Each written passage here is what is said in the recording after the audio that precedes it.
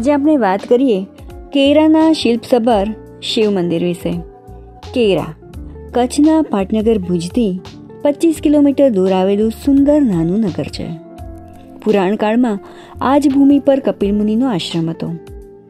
એટલે જ કદાચ તે કપિલ ગ્રામ તરીકે પણ ઓળખાતું. સિંહના નગર સમયથી કચ્છમાં આવી વસેલા મોડ અને મનાઈ નામના બે ભાઈઓએ કચ્છમાં સમાવંશની સ્થાપના કરી હતી. તેમણે પોતાના ભાઈનું અને મામાનું દગાથી ખૂન કરી રાજસત્તા મેળવી હતી. અને પાછળથી આનો પસ્તાવો થતાં એમણે પ્રાપ્ત કરેલી જમીનના ચાર ભાગ પાડ્યા હતા. જેમાં બે ભાગ મોડના અને એક ભાગ મનાઈનો અને એક પોતાનાથી થઈ ગયેલા પાપોને ધોવા માટે પશ્ચાતાપ રૂપે દાનમાં આપવાનો. પણ મનાઈએ દાનમાં આપવાની વસ્તુ પર કાળો કેર કરીને એ ભાગ પણ પોતે પચાવી પાડ્યો. અને આથી જ કદાચ મનાઈના વંશજો કેર કહેવાયા. અને એ પોતે પોતાના ભાગના કપિલ આશ્રમમાં રહ્યો એટલે એ પણ કેરાઈ તરીકે ઓળખાયું. અને સમય જતાં કેરાઈમાંથી ઈ લુપ્ત થઈ ગયો અને કેરા જ રહ્યું. આ કેરામાં પાછળથી લાખા ફુલાણીએ રાજ કર્યું. આ પછી કેરાની કચ્છ ઉપરાંત રાજસ્થાન, ઉત્તર પ્રદેશ અને ભારતના દૂર દૂરના પ્રદેશો સુધી બોલબાલા વધી હતી. હવે વાત કરીશું કેરાના શિવ મંદિર વિશે. તો ભુજ તાલુકાના કેરા એટલે કે કપિલકોટમાં પણ એક સુંદર અને શિલ્પસભર ભગ્ન મંદિર ઊભું છે. ઈસવીસન અઢારસો ઓગણીસ અને છેલ્લે આવેલા બે હજાર એકના ધરતીકંપે આ મંદિરને ઘણું નુકસાન કર્યું છે. અહીંના આ શિવાલયને લાખેશ્વરના નામથી પણ ઓળખવામાં આવે છે. શિવાલયને રા લાખાએ બનાવ્યું હોવાનું બનાય છે. પણ સ્વર્ગસ્થ રામસિંહ રાઠોડ અને સ્વર્ગસ્થ કંચન પ્રસાદભાઈ છાયાના મતે મંદિરનું સ્થાપત્ય અને રચના મંદિરને લાખાના પહેલાંના સમયમાં મૂકે છે. શક્ય છે કે રા લાખાએ તેનો જીર્ણોદ્ધાર કર્યો હોય. ધરતીકંપમાં મંદિરનો ઘણો ખરો ભાગ જમીનદોસ્ત થઈ ગયો છે. પણ ગર્ભાગાર અને શિખર વગેરેનો ભાગ બચવા પામ્યો છે. તેનો શિલ્પ અને સ્થાપત્યથી ઉત્કૃષ્ટતાનો ખ્યાલ આપે છે. મંદિરની ઘસાઈ ગયેલી અને ક્ષીણ થઈ ગયેલી કૃતિઓમાંથી પણ લાવણ્ય તરી આવે છે. મહાગુર્જર શૈલીના કેરાના મંદિરના ગર્ભાગારના શિખરની પશ્ચિમ અને દક્ષિણ એમ બે બાજુ હજી ઊભી છે. મંદિરનું શિખર આકાશમાં ઊંચું છે. પાયાથી શિખર સુધી મલતુલીન શિલ્પ મંડિત આ મંદિરની ગણના ગુજરાતના ઉત્કૃષ્ટ મંદિરોમાં કરવામાં આવે છે. શિખરને ગોથિક સ્થાપત્યની રીતે પિરામિડ આકારની ધરતી છત દ્વારા બનાવવામાં આવ્યો છે. અહીંની દિવાલોમાં મૈથુન શિલ્પો પણ દેખાય છે.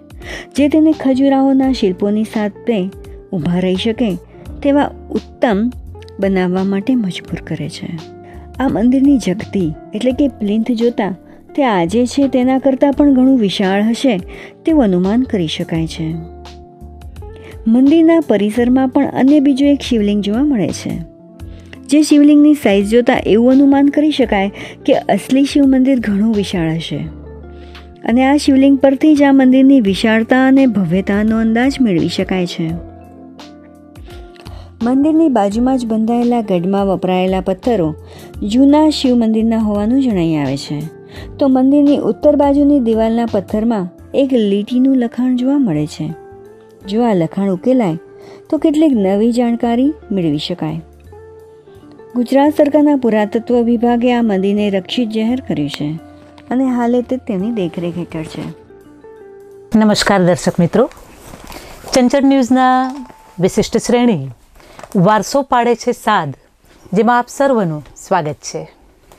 દર્શક મિત્રો આજે આપણી સાથે ઉપસ્થિત છે શ્રી રાજેશભાઈ માકડ. રાજેશભાઈ નમસ્કાર. નમસ્કાર. વારસો પાડે છે સાદ મને મારી પોતાની એક સ્વરચિત પંક્તિ યાદ આવે કે વારસો પાડે છે સાદ, ભીતરે એક જ હો નાદ. ઉજળા અતીતને હરદમ કરીએ યાદ.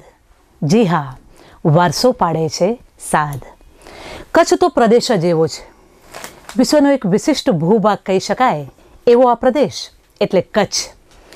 આ પ્રદેશના પાને પાને, પ્રદેશે પ્રદેશે, પટે પટે અને પાડીએ પાડીએ ઇતિહાસ સમાયેલો છે, ઇતિહાસ ગરોબાયેલો છે. આ વિશિષ્ટ પ્રદેશના ઐતિહાસિકની વાતો કરવા માટે વારસો પાડે છે સાદ. એ ચંચળ ન્યૂઝે એક વિશિષ્ટ કાર્યક્રમ દર્શક મિત્રો આપ માટે રજૂ કરેલ છે. આજે આપણે જે પ્રદેશની વાત કરવાના છીએ, આમ તો એ કચ્છનો જ એક વિશિષ્ટ ભાગ છે. ભુજ તાલુકો અને જેનું પટેલ ચોવીસીનું જે એક વિશિષ્ટ ગામ કહી શકાય, એવું કેરા ગામ. અને એ કેરા ગામમાં લાખેશ્વર મહાદેવ, જે કચ્છના ઇતિહાસમાં ખૂબ જ જાણીતું અને ખૂબ જ પ્રચલિત સ્થળ છે, એ વિશેની આપણે વાતચીત કરીશું. આપણા માટે વાતચીત કરવા માટે ચંચળ ન્યૂઝના સ્ટુડિયે ઉપસ્થિત છે રાજેશભાઈ માકડ, અને જેમનો પરિચય આપીએ તો તેમણે કચ્છના ઇતિહાસ પર છેલ્લા વીસ વર્ષથી તેઓ અભ્યાસુ છે, જિજ્ઞાસુ છે અને ગાઈડ તરીકે તેમની ફરજ પણ બજાવે છે. રાજેશભાઈ, સૌપ્રથમ તમે એ કહેશો? કે કચ્છના ઇતિહાસમાં જે જામલાખાનો આખો ઇતિહાસ છે આમ તો અને જામલાખાને જ્યારે યાદ કરતા હોય દર્શક મિત્રો ત્યારે કેરા ગામ કેમ બોલાય? એટલે આ કેરા ગામનો પણ ઇતિહાસ છે. તો આપ આપણા દર્શક મિત્રોને કેરા ગામના ઇતિહાસ વિશેની વાત કરશો? ચોક્કસ. સૌપ્રથમ તો નમસ્કાર ઉષ્માબેન. નમસ્કાર. સર્વે ચંચા ન્યૂઝના શ્રોતાઓને. સુષ્માબેન તમે એક સરસ વાત કરી કે કેરા ગામ હવે કેરાનું જે હું વર્તમાન વિશે તમને વાત કરું તો વર્તમાન કેરા લગભગ આપણું ભૂતથી વીસેક કિલોમીટર મુંડા રોડ પર આવેલું છે. હવે અત્યારે કેરામાં કેરાનું જો આપણે વાત કરીએ તો કેરા લગભગ ઐતિહાસિક દ્રષ્ટિએ હિસ્ટ્રીની દ્રષ્ટિએ બહુ જ મહત્વ ઘણું છે બરાબર છે? શું કામ? એ તમે કહું. હવે એના માટે આપણે એમાં એક શિવ મંદિર જે લાખેશ્વર મહાદેવ મંદિર તરીકે પણ પ્રખ્યાત છે. શિવ મંદિર આપણે પ્રખ્યાત છે. અને પાછળ જે કપિલા મુનિ આશ્રમ. કપિલા મુનિ આશ્રમને પણ ના ભૂલાય. કારણ કે ઇતિહાસના પુરાતનમાં કપિલા મુનિ આશ્રમનું હજી પણ ત્યાં કપિલા મુનિ આશ્રમ લોકો ત્યાં આશ્રમ જાય છે એમ કહેવાય છે. અને એ એમ કહે છે કે કપિલ મુનિ ત્યાં તપ કરતા હતા. એવો આપણે અંદાજ બાંધી શકીએ એવો કચ્છના ઇતિહાસમાં પણ એનો ઉલ્લેખ છે. બરોબર છે? હવે તમને વાત કરું કે કેરાનું ગામ કેરા કઈ રીતે પડ્યું? એના માટે આપણે છે ને કચ્છની થોડીક હિસ્ટ્રી તરફ દ્રષ્ટિપાત કરવો પડશે. કારણ કે કચ્છનું હિસ્ટ્રી કચ્છની હિસ્ટ્રી છે ને હંમેશા ચડાવવાની ઉતાર રહી છે. કંઈક કંઈક વંશો આમાં આવી ગયા સમા વંશ આવી ગયો. અત્યારે જાડેજા વંશ પણ ચારસો બોતેર વર્ષ આપણે વર્તમાન સમયમાં જોઈએ તો છેલ્લા મહારાજા પણ આપણે જોઈ શકીએ છીએ. બરોબર છે? પણ આપણે વાત કરીશું સમા વંશની હવે આજથી લગભગ નવમી કે દસમી સદીમાં નવમી સદીના અંતમાં અથવા દસમી સદીની શરૂઆતમાં સમાવંશ સ્થાપણો તો સમાવંશની કેરા સાથે શું ઇતિહાસ છે એ આપણે જાણવું જરૂરી છે. કારણ કે ત્યાર પછી જ આપણે ખ્યાલ આવશે કે લાખા ફુલાણી એક સમાવંશનો એક ઉદ્દાર અને ઉત્તમ રાજવી હતો. અને છેલ્લો રાજા હતો રાવપુરેશ્વર રાવપુરેશ્વર પછી સમાવંશ કચ્છમાં પૂરો થાય છે. હવે સમાવંશની શરૂઆત કરું તો સિંધથી બે રાજકુમારો જામણ ઉન્નળનો એમના ભાઈનો ખૂન કરી અને કચ્છમાં પ્રવેશ્યા. કારણ કે એમના એમની જે એમને એક રાજા થવું હતું રાજા ન ન થતાં બંને ભાઈઓએ ખૂન કરી અને કચ્છમાં પ્રવેશ્યા. એ સમયે કચ્છમાં જે લખપતનો વિસ્તાર છે એ વિસ્તારમાં એમના એમના સગા મામા વાગમસિંહ ચાવડા ની નું રાજ્ય હતું. હવે બંને ભાઈઓ ત્યાં આશરો લીધો. બંને ભાઈઓ ક્રૂર અને થોડા કપટી ટાઈપના રાજવીઓ હતા અને રાજકુમારો હતા. કારણ કે આ બધું રાજાશાહીમાં સામાન્ય બાબત છે. સમયનો અભાવ જોઈ આ બંને જણાએ જ્યારે કટેશ્વરનું એક મંદિર છે કટેશ્વરના મંદિરમાં જ્યારે વાગમસિંહ ચાવડા રાજવી જ્યારે પૂજા કરતા હતા તો ત્યાં પણ એમનું એમણે ખૂન કરી નાખ્યું. ખૂન કરી અને જમીન પચાવી પડી. ઓહો. એટલું એમણે ક્રૂર કર્મ કર્યું. આ બ- રાજકુમાર નામ હતા મોડ અને મનાઈ. બરોબર છે? હવે સમયનો અભાવ જોતા બંને જણાઓએ બંને જણાઓને બહુ બહુ પ્રસ્તાપ થયો કે ભૂલ સ્વીકારી કે આપણે શું કર્યું આ બંને જણાએ? તો સમયનો અભાવ છે બંને જણા એવું નક્કી કર્યું કે આપણે આનું પ્રયાસિત કરવું પડશે.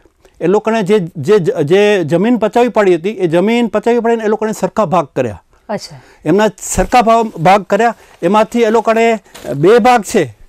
એ મોડે લીધા એક ભાગ મનાઈ લીધો જે બે હું રાજકુમારોની વાત કરું છું. જે બે રાજકુમારો જે એમના સગા મામાની હત્યા કરી નાખી હતી એની વાત કરું છું બરાબર છે? પછી શું થયું કે એક ભાગ હતો એક ભાગ હતો એ દાનમાં આપવાનો હતો. એવું નક્કી કરે આપણો આ ભાગ છે દાનમાં આપવાનો હતો. પણ એવું ન થયું અને મનાઈ છે. એ ભાગ પોતે પચાવી પડ્યો અને એમના વંશજો એ કેર કહેવાના અને વધુમાં વધુ એવું થયું કે જે મનાઈ હતો એ મનાઈઓ અહીંયા કપિલા મુનિશ્રીમાં રહેવા લાગ્યો તંબુ પાડીને. એટલે એના વંશજો કેરાઈ કહેવાયા અથવા કેર કહેવાના. તો આનું નામ કેરાઈ. અચ્છા. કેરાઈ આમ નામ પડ્યું. એટલે કેર અથવા કેરાઈ. વધુમાં ઉમેરું. તો લાખો ફુલાણી જ્યારે વાત આવી છે તો લાખો ફુલાણી એક એક રાણીનું નામ હતું કેર. એના પછી પણ ઇતિહાસમાં એવું મળે કે કદાચ માનીતી રાણી હશે તો ફુલાણી આ ગામનું નામ કદાચ કેરા પાડ્યું હોય. એવો કચ્છના ઇતિહાસમાં પણ ઉલ્લેખ છે. તો આ રીતે આ રીતે જે આપણું જે કેરા ગામ છે એ કેરામાંથી કેરામાંથી અથવા કેરમાંથી કેરા પડ્યું. અચ્છા એટલે અપભ્રંશ ઈ થઈને પછી કેરા. દર્શક મિત્રો આ પટ છે ને એ તો સતનો પટ છે હા. એટલે આપણે કહીએ કે આ ભૂમિનું તપ છે જે યુગોથી શાશ્વત છે. જે આ કપિલ મુનિ કહીએ હા. કંથળ દાદાની વાત કરીએ. અને કચ્છ છે ને એ ઇતિહાસથી આખું સભર છે. એટલે આ પ્રદેશની જ્યારે વાત કરતા હોઈએ ત્યારે કેરાનું એક વિશિષ્ટ મંદિર લાખેશ્વર મહાદેવ. તો રાજેશભાઈ એના વિશે થોડી આપ વાત કરશો? હવે લાખેશ્વર મહાદેવનું જે ઐતિહાસિક મહત્વ છે એ લગભગ એક હજાર વર્ષ જૂનું મંદિર છે એમ કહેવાય છે. એક હજાર વર્ષ જૂનું પુરાનું મંદિર છે. હવે કચ્છ સંસ્કૃત દર્શનમાં આપણે એક અભ્યાસુ આપણા સ્વર્ગીય રામસિંહ રાઠોડ અને કંચન પ્રસાદ સાહેબ બંને સ્વર્ગીયો એવું લખ્યું છે કે આ મંદિર રાવ લાખો ફુલાણી પહેલાંનું બતાવે છે. એ લોકોને પ્રૂફ નથી કર્યું પણ ખાલી બતાવે છે કે આ મંદિર એના એના પહેલાંનું છે. હોઈ શકે હોઈ શકે એટલે આ લાખો ફુલાણીએ આ મંદિરનો કદાચ જીર્ણોદ્ધાર કરાવ્યો હોય કે સમારકામ કરાવ્યું. એ હોઈ શકે. અને એ મંદિર એની એની સમય ઉપર એનું સીધું એની જે જ્યારે લાખો ફુલાની જે રાજવી હતા મધ્યકાલીન સમયમાં લગભગ દસમી સદીનો સમય બતાવ્યો છે એ સમયે આ મંદિર ટોચ ઉપર હતું. અને લોકો એની આસ્થા અને શ્રદ્ધા ઉપર અપ- અપરંપાર પાર હતો. અને લાખો પુલાણી સમય હોય છે, સમય હોય છે સો ટકા હોય સો ટકા હોય છે. અને અને એમ કહે છે કે લાખો પુલાણી પણ શિવ ભક્ત હતો પોતે. હવે લાખો પુલાણી જ્યારે વાત આવી છે તો લાખો પુલાણી આપણા કચ્છના ઇતિહાસમાં ન ભૂલાય. એનું કેરેક્ટર વિશે આપણે વાત કરવી જ પડે. હવે લાખો પુલાણી જ્યારે વાત આવે છે તો લાખો પુલાણી એમ કહેવાય ઇતિહાસમાં એકસો પચીસ વર્ષ જીવ્યો છે. એકસો પચીસ વર્ષની આયુષ બતાવાય છે કચ્છના ઇતિહાસમાં. એટલે હા. કે તમે કદાચ આપણે ભારત સંસ્કૃત દર્શન વાંચો કે અન્ય તમે બુક વાંકો વાંચો તો એમાં એકસો પચીસ વર્ષનો એનો આયુષ્ય બતાવે છે. અને લાખો ફુલાણી પોતે એક દાનવીર હતો પોતે એક ધર્મચુસ્ત રાજા હતો. અને એમ કહે છે કે સવારે જ્યારે એ પોતે જ્યારે સભા ભરતો ત્યારે ગરીબોને સોનાનું દાન આપતો. એવું કેરેક્ટર હતું લાખો ફુલાણીનું. અને પોતે પાછું સાહિત્યનો પણ ઉત્તમ ઉત્તમ ઉદાહરણ પૂરે પાડ્યો રાજા હતો. બરોબર ને? પ્રકૃતિ પ્રેમી પણ પ્રકૃતિ પ્રેમી પણ હતો પ્રકૃતિ પ્રેમી. અને અષાઢી બીજ આપણે ક્યારે ન ભૂલીએ કારણ અષાઢી બીજ દેનાર આપણો આ કચ્છનો રાજવી લાખો ફુલાણી. હજી પણ નવું વર્ષની શરૂઆત સો કરનાર સો ટકા ન ભૂલાય. એટલે કહું છું લાખો ફુલાણી હજી પણ આપણે એગાર એક હજાર વર્ષ થયા છતાં પણ નથી ભૂલ્યા. તો લાખો ફુલાણીને આપણે હજી નથી બોલ્યા તો એ સમય તો એ સમય કેવો હશે લાખો ફુલાણીનો? આપણે ચંચળ ન્યૂઝને પુનઃ કે આપણે વારસો કરે છે સાદ. જો જામ લાખાને આપણે અત્યારે પણ યાદ કરીએ યાદ કરી છે. એટલે આષાઢી બીજની જે શરૂઆત કહી શકાય લાખેશ્વર મહાદેવની મંદિરની વાત કરીએ છીએ. આ મંદિરની કંઈક વિશિષ્ટતા પણ છે. હા. તો આપણા દર્શક મિત્રોને કહેશો થોડું? હા મંદિરની વિશેષતા એવી છે કે આ મંદિર છે ને લગભગ એક હજાર વર્ષ જૂનું છે એ તો મેં તમને કીધું. હવે આ મંદિરનો જે મંદિરની જે ઊંચાઈ છે ને એ ઉપર છે. એકવીસ મીટર એનું લંબાઈ છે દસ મીટર એની પહોળાઈ છે. અને મંદિરમાં બીજું શું છે કે જવા માટે પ્રદક્ષિણા માટે રસ્તો બનાવ્યો છે. બરોબર છે? એક આપણે એ ઉદાહરણ પાડી. બીજું એમ છે કે આ મંદિર છે ને એ મધ્યપ્રદેશના ગજરા સાથે પણ એનું આપણે કમ્પેર કરી શકીએ. કારણ કે એના શિલ્પ સ્થાપત્ય અદ્ભુત છે. બરોબર છે? હજી પણ તમે તમે જ્યાં જશો ને તો ત્યાં એમ કહે છે કે ત્યાંના પથ્થર ત્યાંના શિલ્પ એ સમયના એ સમયના હજી એમને એમ પડ્યા છે. તો એ મંદિરની વિશેષતા અને મંદિરની જવો જળ એ સમય કેટલી કેટલી અદ્ભુત હશે. એ તમે ખાલી તમે કાલ્પનિક વિચાર કરો ને તો તમને તમને ખ્યાલ આવે છે કે આ મંદિર કેટલું વિશેષ હશે એ સમય હજાર વર્ષ પહેલા. બરોબર છે? અને બીજું તમને એક કહી દઉં કે આ મંદિરમાં બીજું એક શિવ મંદિર પણ છે. ત્યાં ત્યાં છે. એ મંદિર કદાચ જૂનું હોઈ શકે. એવો કદાચ પણ અંદાજ આપણે બાંધી શકીએ. અને અને એ મંદિરની એ મંદિરની ઉત્તરે થોડુંક લખાણ છે. હવે લખાણ કોઈ વાંચ્યું છે કે કોઈ નથી વાંચ્યું મને ખ્યાલ નથી. પણ એ લખાણ જો આપણે ઉકેલીએ તો એ મંદિરની વિશેષતા વધારે આપણને ખ્યાલ આવી જાય કે આ મંદિરનું ભયવત શું હશે એ સમય? એ પણ આપણે કાલ્પનિક વિચારોમાં મૂકી દે પણ રાજેશભાઈ કદાચ અત્યારે એ મંદિર થોડું જર્જરિત થઈ ગયું છે. હા. તો કાળની કે કુદરતની એવી કઈ કઈ થપાટો આવી કારણે હવે તમે બહુ સરસ પ્રશ્ન કર્યો બેન હવે એ મંદિર હું તમને કહું એક હજાર વર્ષ જૂનું મંદિર છે. તો એ મંદિરે શું નહીં જોયું હોય? વરસાદ તડકા વાવાઝોડું અને ભૂકંપ. અને આ તો એક જ આ પ્રદેશ છે. કારણ કે આપણે ઇન્ટરનેશનલી ઝોન ફિફ્થ ઝોન આપેલો છે વિશ્વે. કારણ કે આ આ ઝોન તો આપણે કંઈક ભૂકંપ જોયા. અને બે ભૂકંપની હું ખાસ વાત કરીશ. એક અઢારસો ઓગણીસનો ભૂકંપ જે કચ્છ ક્યારે નહીં બોલે. કે કચ્છને એ ભૂકંપે આપણે લખપતથી આખો લખપતને વેરાન કર્યો અને સિંધુ નદી પાકિસ્તાનમાં ચાલી ગઈ. એ નદીમાં પણ બહુ નુકસાન થયેલું. અને બીજો આપણો હમણાં છેલ્લા વીસ વીસ વર્ષ પહેલાંનો બે હજાર એક આ બંને મંદિરે બહુ નુકસાન કર્યું. કારણ કે હજી પણ જર્જરી હાલતમાં મંદિર છે. પણ એ મંદિર તમે અત્યારે વર્તમાન પરિસ્થિતિ તમે જુઓ ને તો મંદિર પર તમને ખ્યાલ આવી જાય કે આ મંદિર એ સમયે લાખો પુલાણીએ એની કેટલી ભવ્યતા હિસાબે બનાવ્યું હશે. એટલે કેટલીક વખત એવું પણ થાય કે જે વર્તમાન અત્યારે દેખાય છે એના ઉપરથી આપણે ઉજળો અતીત પણ બતાવી શકતા હોઈએ છીએ. તો આ મંદિરને અત્યારે કોઈ રક્ષિત રીતે જાહેર કરવામાં આવ્યું છે અથવા સરકારના કોઈ વિભાગ એને ધ્યાન રાખે છે રીતે? જી અત્યારે પુરાતત્વ વિભાગ એને રક્ષિત તરીકે જાહેર કરેલું જ છે પુરાતત્વ. અને મને જ્યાં સુધી ખ્યાલ છે ત્યાં સુધી લગભગ બે હજારની આસપાસ થોડુંક રિનોવેટ થયેલું. બાકી વીસેક વીક એકવીસ વર્ષથી આનું કોઈ રિનોવેટ કે સમારકામ થયેલું નથી. પણ ખરેખર કરવું જોઈએ કારણ કે આ આ ટાઈપનું અને બીજી તમને એક ઉદાહરણ આપું કે આપણી પાસે આ આવા ટાઈપના ત્રણ મંદિર છે.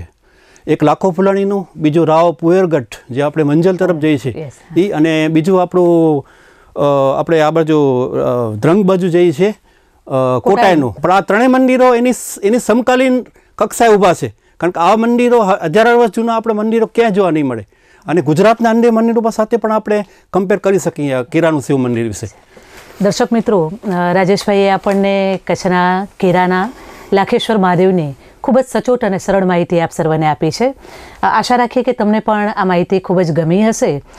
રાજેશભાઈ આપણા દર્શકોને તમે કશું કહેવા માંગો છો ચોક્કસ, હું એટલું કહીશ કે ખાસ કરીને મિત્રોને કે નવી જનરેશનને કે મારા સાથે જે કામ કરતા મિત્રોને કે આપણે હવે જે, આ મંદિરોને ખરેખર પુરાતત્વ વિભાગ સાચવે કે ન સાચવે, પણ આપણી પણ એક નૈતિક જવાબદારી લઈને આપણે પણ થોડુંક એના તરફ ધ્યાન આપવું પડે. અને બીજો મારો એક સજેશન એ છે કે અમે છેલ્લા લગભગ પાંચેક વર્ષથી ભુજ અને અન્ય હેરિટેજ વોક ચાલુ કરી છે. તો હું દરેક સ્કૂલના વિદ્યાર્થીઓને કારણ કે અમે પ્રાઇમરી સ્કૂલના વિદ્યાર્થીઓને પણ કરાવી કોલેજના વિદ્યાર્થીઓને પણ ભુજની હેરિટેજ કરાવી, કારણ કે આ વારસો આપણે સાચવવાનો છે. કારણ કે આવનારી પેઢી પણ સાચવી શકે. એના માટે મારું એક ઉદાહરણ કે આપણે આગળ આવીએ. અમે તમારી સાથે જ છીએ. ઘણા સિનિયરો મારાથી પણ બહુ સિનિયરો પણ આ આ- ટુરિઝમ ઉપર અને હિસ્ટ્રી ઉપર અને અનેક વર્ક કરી રહ્યા છે. તો તમે આગળ આવો. અમે તમારી સાથે છીએ. તો મારું બસ એટલું એક દરેક છે દર્શક મિત્રો આ વખતે તો તમને ખૂબ જ સરસ રીતે આ માહિતી મળી છે. ઉજ્જવળ ભવિષ્ય જો આપણે રાખવું હશે તો અતીતને સંવર્ધન આપણે જ કરવું પડશે. અને આપણે બધા જ એમાં જોડાશું પ્રતિબદ્ધ બનશું તો જ કદાચ આપણો ઐતિહાસિક વારસો જળવાયેલો રહેશે. ચંચળ ન્યૂઝના માધ્યમથી વધુ પુનઃ આપણે નવા અંકમાં નવા વિસ્તારની આપણે મુલાકાત અને સાથે સાથે આલેખન પણ આપણે કરીશું. ત્યાં સુધી રજા લઈશું. નમસ્કાર.